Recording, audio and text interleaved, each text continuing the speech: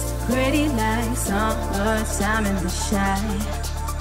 As the breeze is blowing, breathing in this moment, and we ride down Lakeshore Drive. Summertime,